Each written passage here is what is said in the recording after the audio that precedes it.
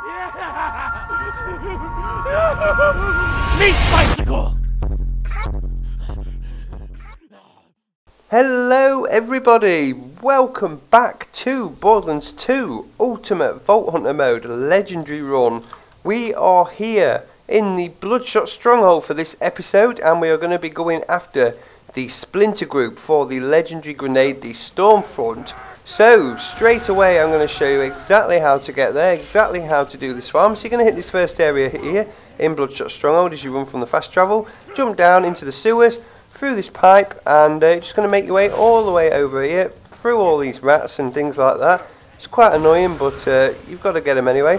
So there is no actual dedicated speed farming process for this really, but there is a secret boss to spawn in, and uh, there is a fast way of getting him to spawn, and I'll show you guys that now. So once you get to the end, drop down into the rat's, net, rat's nest, and uh, as long as you spawn these guys in before following the mission, um, then you can farm them as many times as you want. So there are four rats in total to kill here.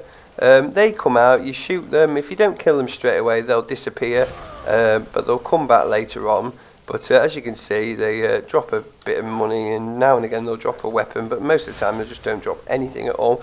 This last guy here as well is quite hard to kill, so uh, once you take him out, he'll probably appear somewhere here any second now. You'll see him, there he is, so uh, we'll get him down as well. And, uh, oh, very nice, thank you for the health. So, absolutely nothing, as you can see, there. Once they're down, run through into the next area, and we've got a nice big red Dahl chest to pick up straight away as we get in here. But uh, this is the area where we spawn the secret boss. Uh, in fact, he comes out just over here. So to spawn him in, you've got five red lights above you, just here. And, uh, no, nothing at all there. So basically, there are four different parts here. There's a lever to pull there, a little switch on the wall to pull, a button on the telly to, pre telly to press, and a valve here uh, on a pump to turn. So every time you do one of uh, these processes, it will light up a different light, and then if you do another one, it'll probably take a light away and add two more there.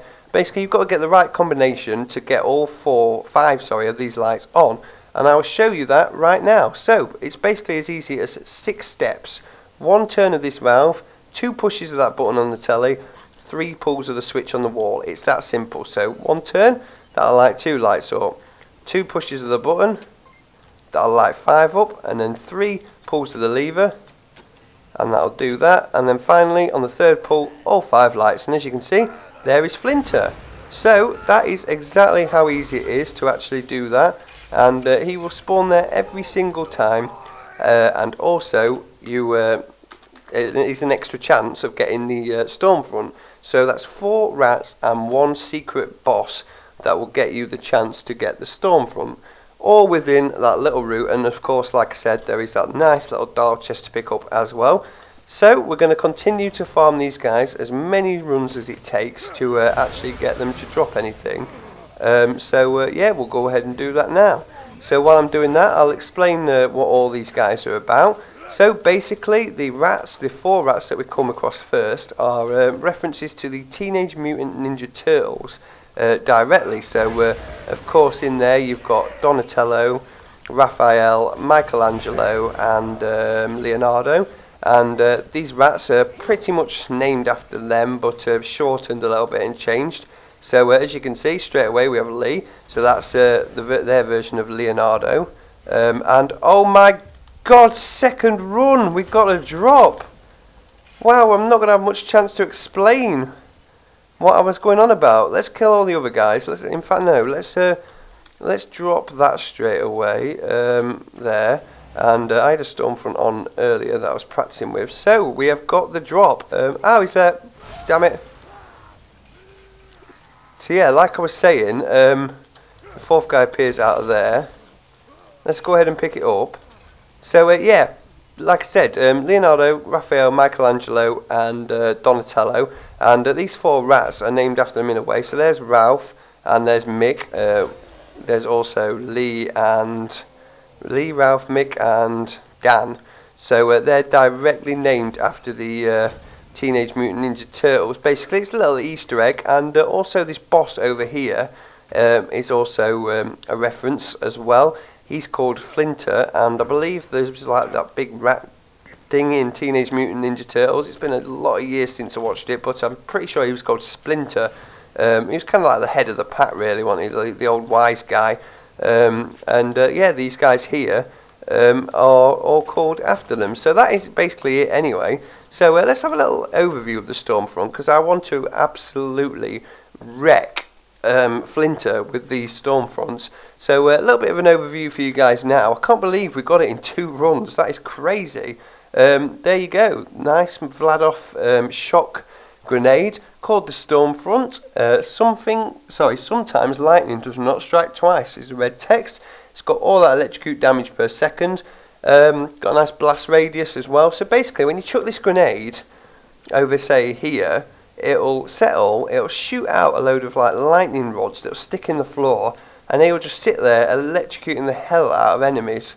Um, it strips shields really well, but it also just sits there and basically damage over times um, whatever is in your way um, until it runs out, and it lasts quite a while as well. So we're going to go ahead and spawn this guy in, and then I'm going to gunzerk, and uh, I'm, I want to get 10 grenades actually, but I'm going to gunzerk and chuck two grenades out at a time, and uh, yeah, at the minute this guy's going to get 18 grenades flying at him, but uh, I can't find any more.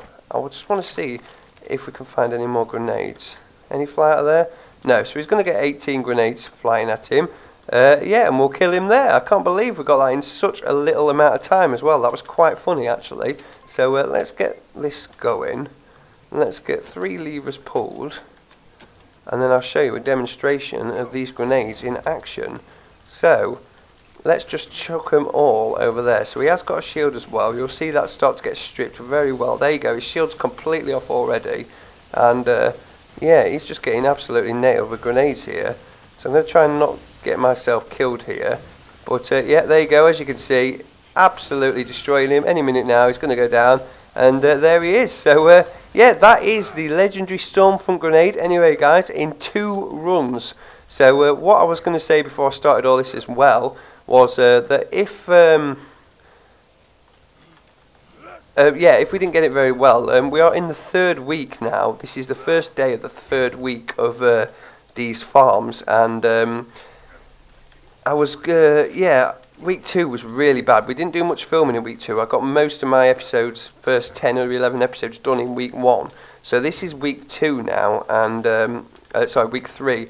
Week two was apparently dire for drop rates. Um, we saw a little bit of it with the Logan's gun, but I think we was quite lucky on there.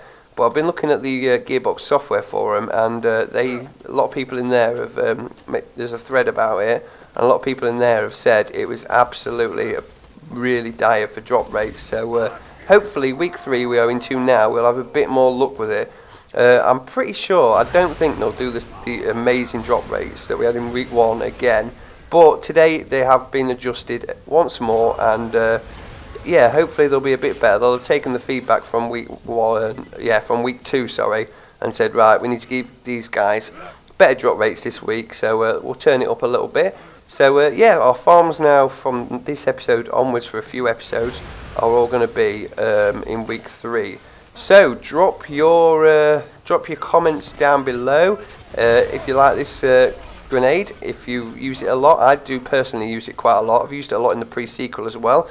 And uh, the next boss we're going to farm, let me think, will probably be in the, I think the next area to go to is the Dust. Yes, the Dust. So I think we're going to go after Mobley and Gettle in the Dust next. Or do I? No, no, no, no, no, no. We're going to go after McNally. I'm going to go after McNally in the Dust. That he's the guy, when you spawn in, you go straight on towards the, uh, the uh, Hodunk racetrack.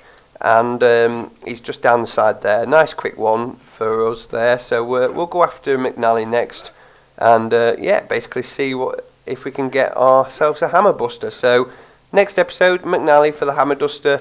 Drop down your guesses below, and once again, we'll be in week three of recording. So uh, we're not going to get the awesome drop rates we got in week one. So uh, just remember that when you're having a guess of how many runs you think it'll take. But for now, we are uh, yes, we are loving the fact two runs of the rats for the Stormfront. And uh, believe it or not, that's the first time I've ever got a Stormfront from one of the rats. Normally it's Flinter. So uh, yeah, I'm really happy with that now. But uh, yeah, for now, thanks for watching everyone. I hope you're enjoying this series. And uh, I'll see you guys in the next episode.